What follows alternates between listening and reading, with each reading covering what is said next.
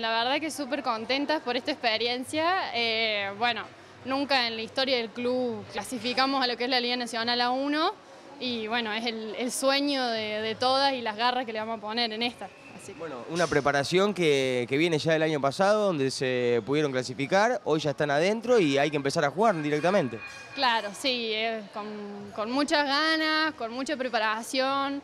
Eh, hay chicas acá muy chicas, desde 15 a 30 años, todas con el tiempo ahí ajustándonos, entrando todos los días, doble turno, pero la verdad que sí, la felicidad es muy, muy grande. Nuestro objetivo es dejar al vóley cordobés eh, de la mejor forma, eh, mejor ubicado y sumar experiencias como siempre. Sí, esta tarde partimos para Rosario a jugar contra Rosario Central justamente y contra Villadora al, al otro día.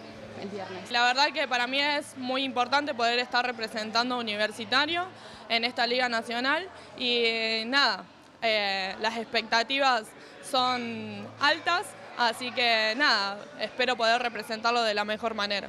¿Cómo te encontraste aquí en Córdoba? Vos sos de Santa Fe, jugabas en San Lorenzo, ¿tres años estuviste en San Lorenzo? Así es. Eh, en cuanto a Córdoba, me llevo, estoy teniendo una experiencia bastante linda, más allá de lo deportivo, conociendo también un poco lo que es la ciudad y la verdad que el grupo de trabajo es muy bueno, así que bien, por lo menos. Es mi quinta liga, así que nada, en cuanto a experiencia vengo a aportar eso a las chicas, pero por lo que tengo entendido hace un par de años que ya la liga eh, Córdoba no está participando en la liga, pero bueno, es la primera vez también de universitario, así que es un momento histórico para el club. Eh, está claro el objetivo grupal, como también cada uno tiene sus objetivos individuales. Así que nada, en busca de esos.